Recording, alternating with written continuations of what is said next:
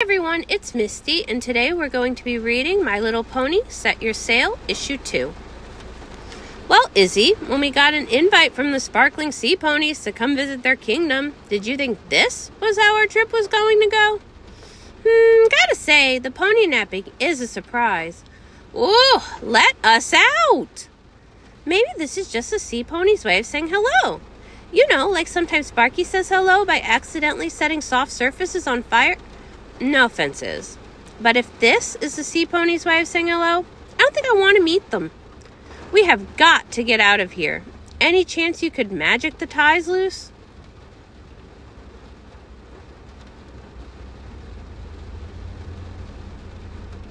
Izzy? It's no use. The knot is too powerful. You're kidding me, right? Ugh, this is why mom should have sent Zipp instead of me. This kind of stuff never happens to her. I could be releasing my new song right now. I could be changing the lives of my followers, but no. Instead, I had to do my royal duty. Ah, Pipp, you gotta look on the bright side. Which is, maybe the crew of the Galloping Ghost will save us. Or maybe the onion is actually an onion. When when my followers find out about this, Trust me, Princess. We want everybody to hear about this.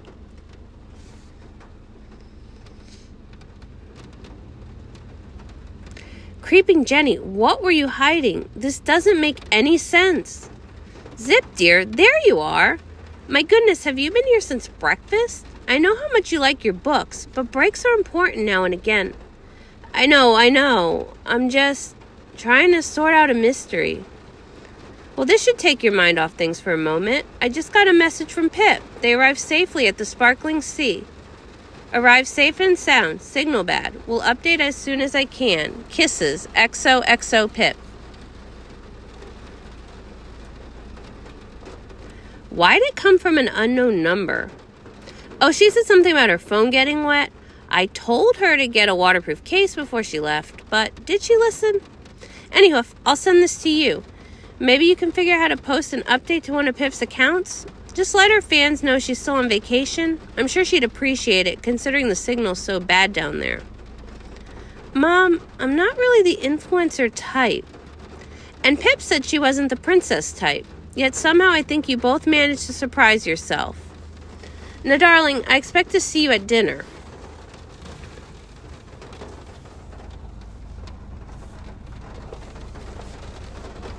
Found a whole box of them some pony had dumped out near the rip. I think the currents might have taken some of them to the surface. What were you doing out there, Anemone? Those currents have been known to drag ponies to the darkest, most unknown parts of the ocean. Hey, no need to go all mom on me, sis. I'm careful. It's just, you know, sometimes cool stuff washes up there. Like from other kingdoms?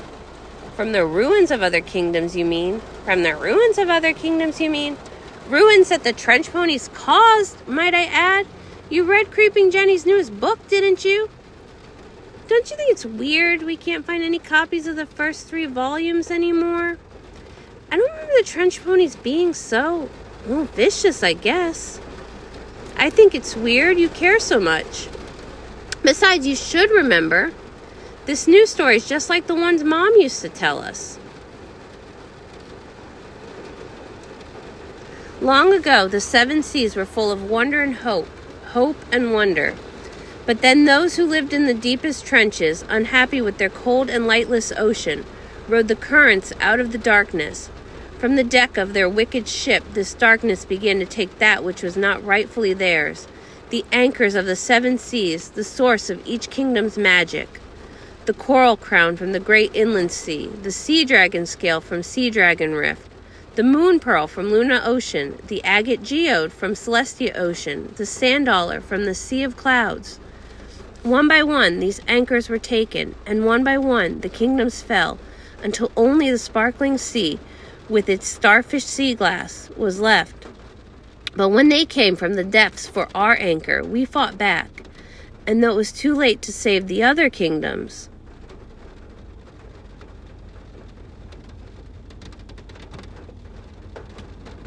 We remain as the guardians of the stolen anchors until such a time as we can find the last anchor, the seventh anchor belonging to the trench ponies themselves, and reunite the seven seas.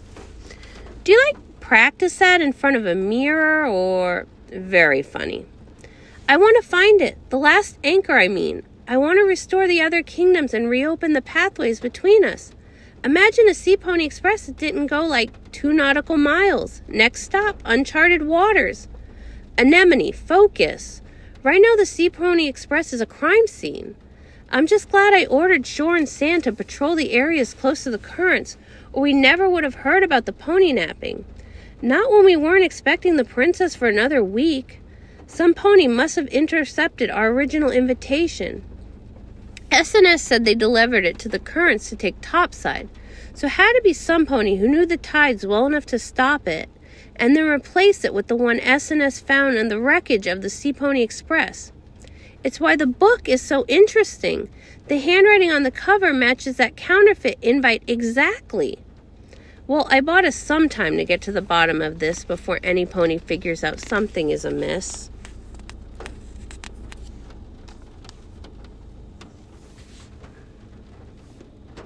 With the ersatz enchantment. Mom always said that was only for emergencies. You've been using it an awful lot lately. And so, what if I have? How else am I supposed to keep the sparkling sea from darkness, from rot? So, you lied to them. Princess Pipp isn't safe. We don't even know where she is. I didn't lie. I just polished the truth a little to avoid an international incident. Sometimes lying is the right thing to do, Anemone. If you were queen, you'd understand. Besides, it's not like any pony will pay close enough attention to notice something amiss. We'll have the whole thing sorted out before you can say, What do you mean, another princess?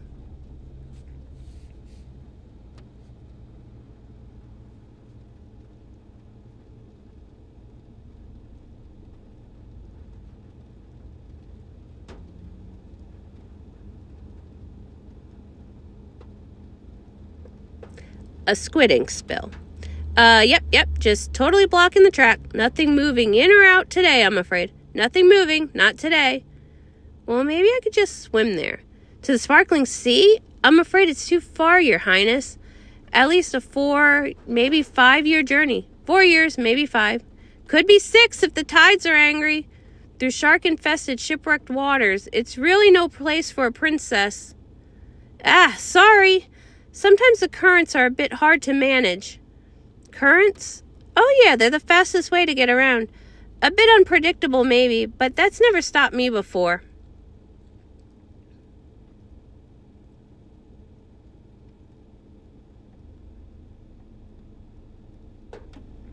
Anyway, I'm glad I caught you. The uh, squid ink spill's a bit more involved than we thought. And listen, if I'm being honest, my sister wasn't really expecting any more visitors, so we don't have folks to spare for cleanup at the moment. Not until we finish showing Princess Pipp around, anyway. Er, I'm sorry about all this, and after you got all magicked up to come down here and everything. No, I mean, I should be the one apologizing. You weren't expecting me, and I just. I got a weird message from my sister, and I wanted to make sure she was okay. Maybe I overreacted a bit. Listen, your sister and your friend are going to be fine. I promise. And when I promise something, I mean it. Well, I appreciate it. Oh, Anemone. Princess Anemone. But you know, maybe you wouldn't mind using these currents to give me a little tour? I just came all this way. And I wouldn't want my sister to have all the fun. Tell me, Princess, just how many followers do you have? I I somewhere around 70 million. Think they'll notice if you're not around anymore? Um, I think a lot of ponies would be really upset if we died. Died? What makes you think? what makes you think we want to hurt you? I find it hard to believe that creep being dragged to a creepy sunken ship menaced with with whatever that thing is and having weird threats gargled at us are overtures of friendship. Gargled? Oh, it's them blasted vocal fries. Get on with ye phlegm pillagers. And now, for some proper introductions.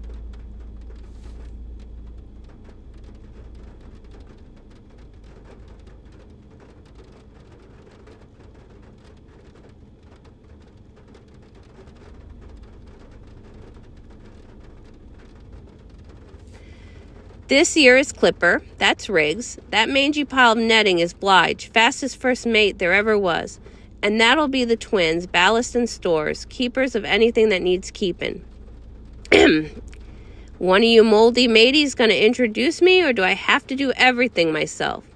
Shiver me withers, this is the great Captain Starboard, tamer of the trench and master of this year's ship, the proudest pile of planks in the seven seas. I think I'm having a hallucination from exposure to deep sea bubbles. How did you know that? Pipp, don't you get it? First introduced in the limited edition Galloping Ghost holiday prequel, It's a Waterful Life. These are the trench ponies.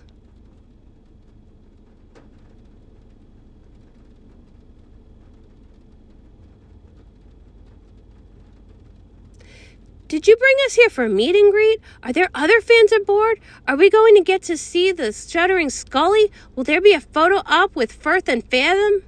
Izzy, I know those questions mean a lot to you, but I have something more pressing I'd like to know. Why did you pony nap us? Well, you see, it's like this, lass. We need your help. Are you going to tell us how you are outcast from the deep, exiled from a forgotten home, left to fend for yourselves in a hostile waters, desperate to restore the once great kingdom and be the heroes you know you were, if only you could just remember what happened before the accident left you shipwrecked? I quite like your salty yarn, but no. What we need help with is revenge. I should have mentioned the currents can cause a little seasickness. or a lot of seasickness. I think I'm okay now. What is this place? It's gorgeous. It's considered the crown jewel of the sparkling sea. Welcome to Pearlscape Park. What's over there? When my sister Calla Lily was born, our mom gave us this plot of ocean. Calla Lily always loved gardening. These saltwater taffy trees were grown from sugar seeds, and if you look over here, you'll notice oh, you found our school of pega crabs. Are they supposed to look like that? Like what? They seem totally normal to me.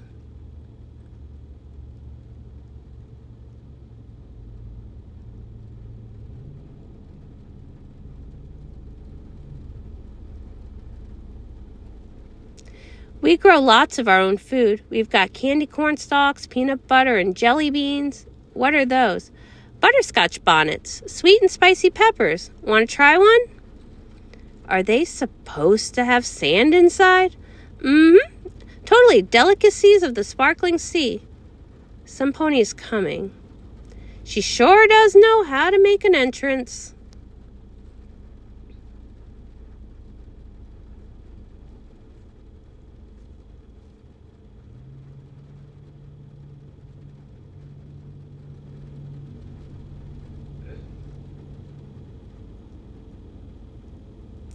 Pleased to make your acquaintance, Princess Zipp. It was so thoughtful you'd have come join your sister. Yeah, about that. Where is Pipp exactly?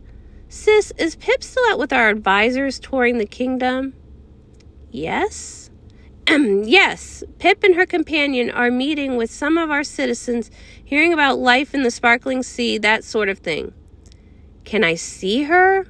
Why aren't you with her? You're too clever for me, Zipp. Our kingdom is in trouble, and I think Pipp might be our only hope.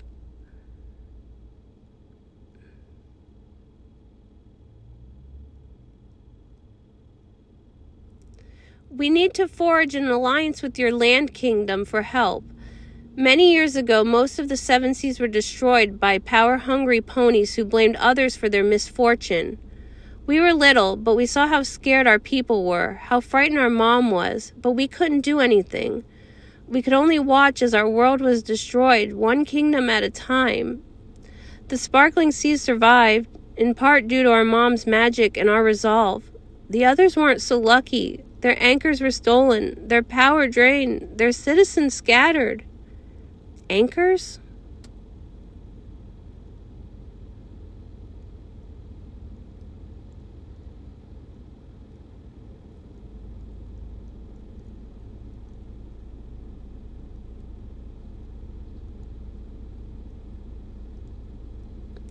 Each kingdom has an anchor, a mystical touchstone that enhances our magic. They protect us from harm, amplify our personal magic, and keep our waters calm. Without them, I fear the seas will grow more and more turbulent until until the land above us begins to feel their wrath. Kind of like our unity crystals. Precisely, I learned about your unity crystals in my research on how we might prevent the destruction from escalating. That's uh, exactly why I brought Pipp here to see what we could learn from her about how they might work, how we might come together to keep both our homes safe. What kind of danger are we talking about? Water is the most healing and most destructive force in the world. If the unrest isn't settled, all the land kingdoms would be at risk for total annihilation. Let's catch the current back to our palace. We can start working on an information exchange. Hey, you okay? Right as a riptide. So, so, I know we just met and I'm kind of a total stranger, but you can talk to me. Things seem strange here, and if there's anything I can do, you can ride the next current with me. Let's see if we can catch up with your sister.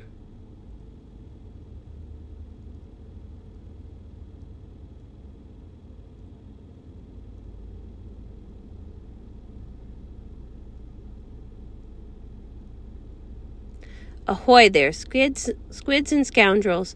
This is DJ Darkwater coming at you live from our deep, secret base in the briny deep.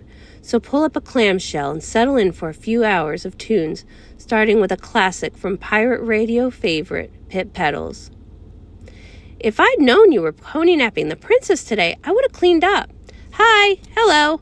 Come in, don't mind the mess. It's just how we live. I'm Maris the Crow, general busybody, host of our little radio station, usually up to no good. So is it true then? You're really going to help us? Uh, I'm not sure. Captain Starboard explained some of it, but I'm sure she left you more confused than a unicarp swimming sideways in a fishing net. You've got the attention of almost every pony on land and sea. You're a princess, a pop star. They trust you. All ponies need to know what's happening down here. We need some pony like you to get our message out before it's too late. The sparkling sea is out to get us. And if they succeed, you landlubbers are next. Okay, so that is the end of issue two. Um, not a whole lot to say. This was a really good build up issue. We got the sides of both the trench ponies and the sparkling sea. And, you know, at this point, to me, I wouldn't really say there's a villain. Some people would say Calla Lily's kind of shaping up to the antagonist. But that's kind of a stretch, in my opinion, on this. Um, but yeah, I just thought the story was really well written. And that's it. I'll see you guys for issue three. See you next week. Bye.